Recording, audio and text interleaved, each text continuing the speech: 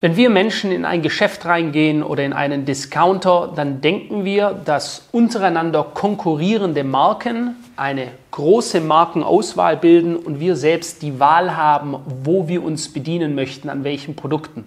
Dass diese unabhängig gegeneinander ähm, agieren in einer Konkurrenzfunktion.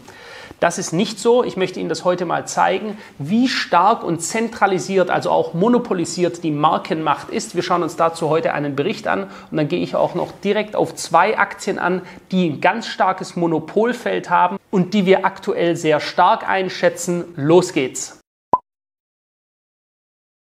Herzlich willkommen und einen schönen Sonntag wünsche ich Ihnen. Mein Name ist Philipp Hopf. Das ist ein weiteres Video der HKCM.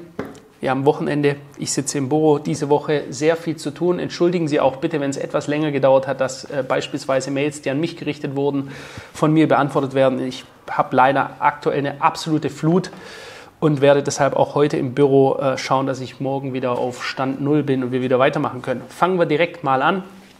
Umfrage. Wir hatten in der letzten Woche gefragt, wie welchen Markt sollen wir für Sie neu aufnehmen? Wir hatten mehrere äh, Male in den Videos einen Umfragelink eingefügt. Jetzt haben wir es hier auf unserem Twitter-Kanal, falls Sie dort noch nicht sind, bei unserem Twitter oder unserem Instagram. Ich werde übrigens am Montag jetzt morgen, am morgigen Montag, meinen ersten Instagram-Livestream machen. Melden Sie sich jetzt an, abonnieren Sie unseren Kanal unter HKC-Management, dann können Sie beim Livestream dabei sein und mir persönlich Fragen stellen. Also, Umfrageergebnisse. Wir haben es jetzt äh, das Ergebnis ausgewertet. Wir nehmen den Index der zweitgrößten Wirtschaft der Welt in unser Produktportfolio auf, also dauerhaft auf. Sie haben sich in der Umfrage für den Hang Seng Index entschieden. Wir arbeiten nun daran, Ihnen diesen auf täglicher Basis anzubieten. Ganz kurz der Transparenz halber. Das sind die Umfrageergebnisse es haben insgesamt 564, das sind alles Einzelstimmen, also jeder hatte nur eine einzige Stimme, 564 Menschen für den Hang Seng ähm, gestimmt. Zweiter Platz war relativ knapp dahinter war der Swiss Market Index, der SMI und als drittes dann das Metall Platin. Wir müssen mal schauen, ob wir irgendwann, irgendwann in äh, der mittelfristigen Zukunft noch einen weiteren Markt aufnehmen werden. Wir werden jetzt aber in Zukunft, wie ich meine, einen sehr, sehr interessanten Index in die tägliche Analyse mit aufnehmen und das ist der Hang Seng, der chinesische Index. Also, wir fangen direkt an. Vorgetäuschte Freiheit. Diese Unternehmen kontrollieren den Markt. Das ist ein Bericht aus unserem Trading Room. Unser Trading Room ist frei für jede Person ähm, zugänglich auf unserer Seite www.hkcmanagement.de. Einfach, wenn Sie auf die Seite gehen, auf Trading Room, da werden jeden Tag von unseren eigenen äh, Analysten und von unserer Updates and Writing Abteilung ähm, frische Artikel und teilweise auch Marktanalysen zu unseren Marktsegmenten veröffentlicht. Ich lese mal vor und dann gehe ich danach auf zwei Aktien ein, die hier drin auch besprochen werden, in die ich erstens selbst investiert bin und die ich sehr, sehr stark für die Zukunft einschätze. Einer dieser Aktien ist sogar eigentlich einer meiner Lieblingstitel in meinem Depot. Wir starten los. Freilandeier, Aloe Vera, Shampoos, Holzfällerfleisch, zuckerfreie Energy Drinks und Haselnussschokolade in einer Welt, in der Konsum wichtiger ist denn je. Definieren Produkte mittlerweile auch unseren Charakter, auch wenn wir meinen, dass sie Ausdrücke unseres Charakters sind. Hinter dem Griff zum teuren Bioprodukt in der pappbraunen Verpackung oder der Auswahl des Fleisches mit der Aufschrift für echte Männer stecken komplexe soziologische Prozesse und nicht einfach nur eine Präferenz. Wir denken also, wir hätten eine Präferenz, wir hätten eine Wahl. Wir sind aber im Endeffekt, ums ja, ganz populistisch mal auszudrücken, wir sind Produkte der Propaganda dieser Lebensmittelriesen, ähm, die ihre Propaganda in unsere Köpfe reinbringen und wir denken danach, wir haben eine Wahl, aber gleichzeitig kontrollieren sie diese ganzen Untermarken. Ja? Man möchte damit ausdrücken, wer man ist, ja sogar, dass man etwas ist. Dass diese Konsumentscheidungen aber nicht bei Ihnen liegen, sondern das Resultat Ihrer Sozialisierung, sagte bereits der Wissenschaftler Pierre Bordeaux. Schlimmer aber ist, dass Großkonzerne dies schon lange wissen und auch ausnutzen. Im Supermarkt wirkt es so, als ob der Hersteller von verschiedenen Produkten um ihre Kaufentscheidung kämpfen und sie somit eine gewisse Entscheidungsmacht über den Markt ausüben. Das ist natürlich recht simplistisch gedacht, läuft aber auf der Makroebene auf genau das hinaus. Nun ist es aber so, dass der Großteil des Lebensmittelmarktes gerade einmal von einer Handvoll von Großkonzernen bedient wird. Diese sind Nestle, Coca-Cola, PepsiCo, Unilever, Johnson Johnson, der erste Titel, den wir gleich besprechen werden, Danone, Mars, Mondelez, Kellogg's, Kraft Heinz und mein Favorit Procter Gamble. Wir schauen uns das Ganze mal an. Hier sehen Sie jetzt mal, das können Sie sich, sich, dann auch groß machen, wenn Sie diesen Artikel finden wollen. Der ist vom 18.07. Browsen Sie bitte einfach mal durch. Wir haben hier auch zum Cannabismarkt, zu den Indizes, zu einzelnen Aktien immer wieder Berichte, die hier frei verfügbar sind von unseren Analysten. Sie müssen sich nur anschauen. Jeder kann auf den Trading Room zugreifen. Hier sehen Sie quasi die Investitionsbäume oder die Anteilsbäume, sollte ich sagen, der unterschiedlichen Konzerne. Wir wollen uns jetzt aber hier mal heute folgende anschauen, und zwar P und, Go, P und G, Procter Gamble, einer meiner Lieblingstitel, der größte in, meiner, in der Gewichtung meines Depots ist es der größte Einzeltitel aus den USA. Der größte deutsche Einzeltitel ist die Porsche SE, die Porsche Holding. Da wurde ich auch schon mehrmals darauf angesprochen, werde ich gerne auch versuchen, in den nächsten ein bis zwei Wochen ein Video über die Porsche SE-Aktie zu machen und unsere Erwartungen.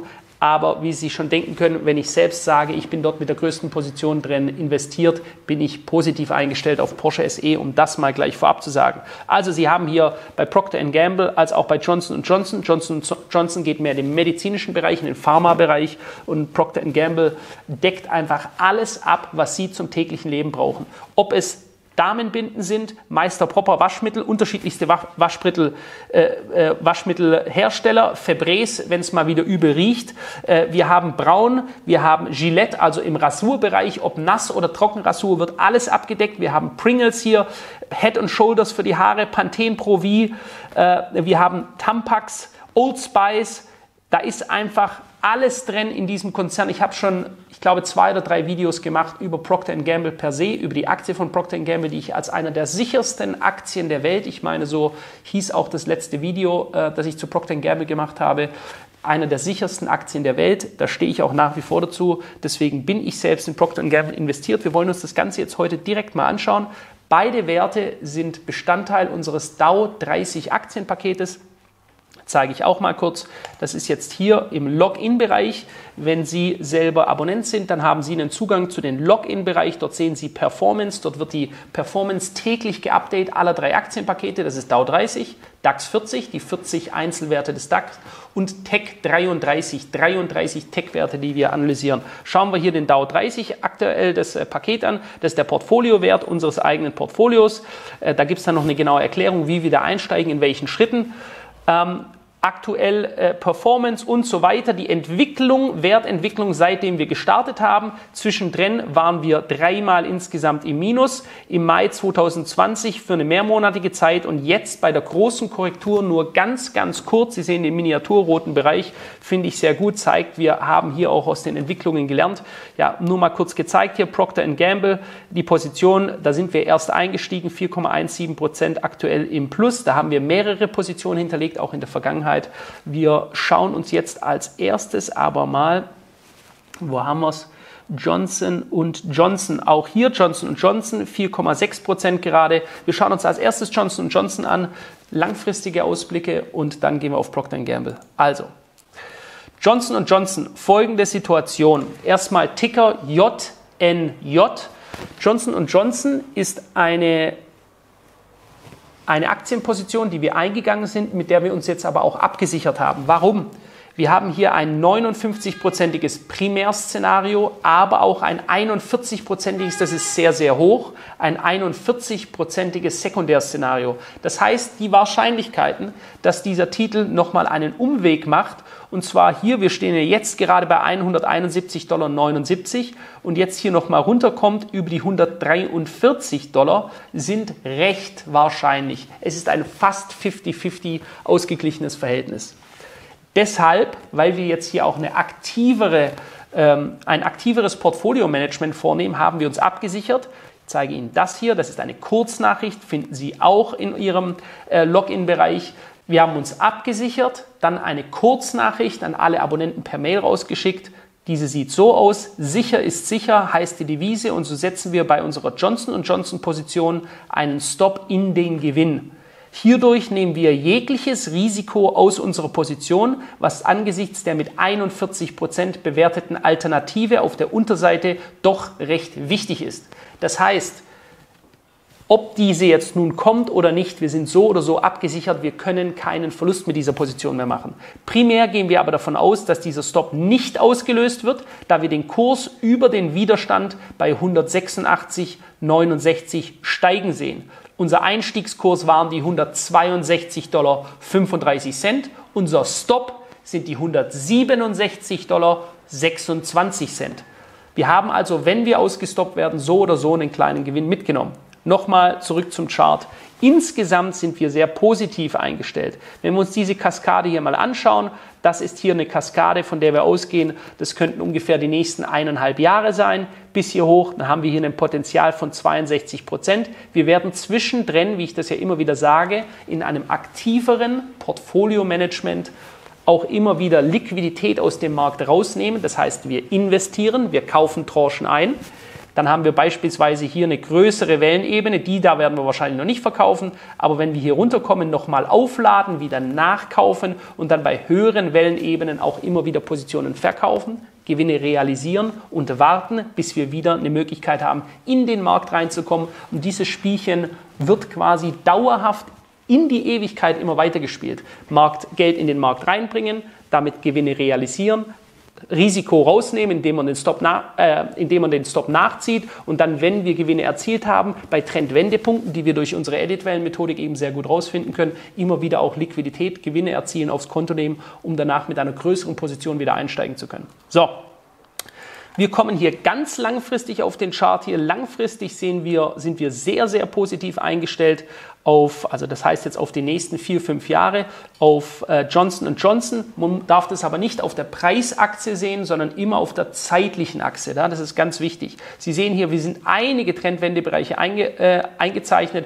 Wir gehen davon aus, dass wir entweder jetzt im Primärszenario oder nach dem Umweg, den ich Ihnen hier gerade gezeigt habe, das wäre diese hier unten, folgende Bewegung hier ausrollen und insgesamt ein Potenzial von circa 170 Prozent haben, bevor wir sagen, dann droht, wie bei Microsoft, Microsoft habe ich Ihnen das Szenario am Freitag im Video vorgestellt. Wenn Sie das Video nicht gesehen haben, dort wurden drei Aktien vorgestellt, die wir sehr stark halten. Schauen Sie es ein, wir blenden es gerade mal ein. Das ist dieses Video hier ähm, vorgestellt. Dann werden wir auch hier eine große ausgedehnte Korrektur sehen, die zumindest einmal zu den jetzigen Preisen oder sogar, sogar tiefer führen wird. Aber bis dahin wird sich noch einiges tun auf der Oberseite. Wir sind also insgesamt sehr positiv eingestellt bei Johnson Johnson. Wir werden jetzt abwarten, dass wir nochmal einen Anstieg sehen, eine Gegenbewegung und dann werden wir nochmals eine Einstiegsnachricht verschicken, sobald wir das ähm, für den, die richtige Entscheidung treffen. Diese können Sie, sollten Sie das Dow 30 Paket nutzen, dann auch gerne für sich nutzen.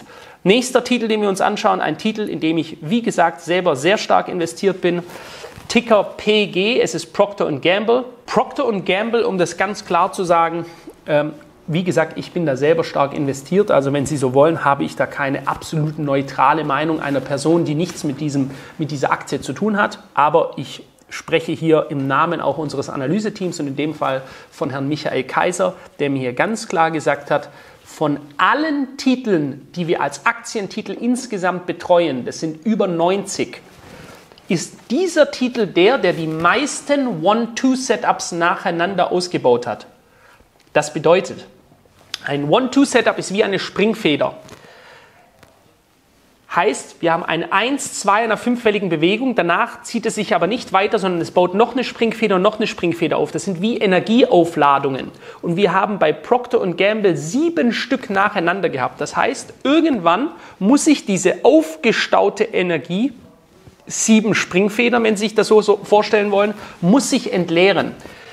Wir meinen, dass wir jetzt hier das Tief, das hatten wir übrigens diesen Zielbereich Monate bevor wir ihn erreicht haben und abgearbeitet haben, gesetzt. Das hat also sehr gut funktioniert. Wir haben jetzt also hier einen, eine hohe Conviction, einen hohen Glauben an unseren, ähm, an unseren aktuellen Count daran. Wir glauben, dass Procter Gamble einer der interessantesten Titel ist und zumindest einmal die 500 Dollar und höher erreichen wird. Wir stehen gerade bei 144. Das heißt, wir haben ein extrem breit diversifiziertes Unternehmen, einen Dividendenaristokrat, welcher seit vielen Jahrzehnten eine stetig höhere Dividende auszahlt. Und wir haben hier ein stark steigendes Kurspotenzial. Für uns ein sehr interessanter Titel, für mich ein interessanter Titel. Deswegen nutze ich auch die Dauereinstiege und ich nutze vor allem die Procter Gamble Einstiege, weil ich der Meinung bin, dass ich hier auf der einen Seite eine gute Performance erzielen kann und ein sicheres Unternehmen habe, welches wirkliche Waren herstellt, die im täglichen Leben von quasi fast jeder Person genutzt werden, ja, weil sie ein extrem breites Marktspektrum haben. Wir sehen den Wert hier zunächst einmal auf die 200 Dollar gehen. Das könnte theoretisch dieses Jahr schon der Fall sein. Auch hier werden wir im Verlauf immer wieder, wenn Gegenbewegungen kommen, Einstiege suchen und Einstiege finden, um diese Bewegung hier richtig zu handeln. Ich denke, Procter Gamble wird für mich auch noch eine Position sein, da werde ich noch weiter aufstocken, ähm, weil man sollte auch immer überzeugt sein von dem Unternehmen und das ist für mich, wie ich schon sagte, ein sicheres Unternehmen und eines, wo ich sage, da mache ich mir jetzt keine Sorgen, dass die äh, super neu sind oder irgendwas, dass da hier eine äh, Spekulation auf die Zukunft gemacht wird, wie in vielen Tech-Unternehmen, sondern dieses Unternehmen gibt es seit über 100 Jahren. Das ist ein gestandenes Unternehmen und wir haben einen tollen Ausblick auf der charttechnischen Sicht. So, ich wünsche Ihnen jetzt einen schönen Sonntag. Genießen Sie Ihre Zeit, gehen Sie raus an die frische Luft, ähm, machen Sie es gut. Ich freue mich auf die nächste Woche. Wir haben spannende Themen. Danke sehr.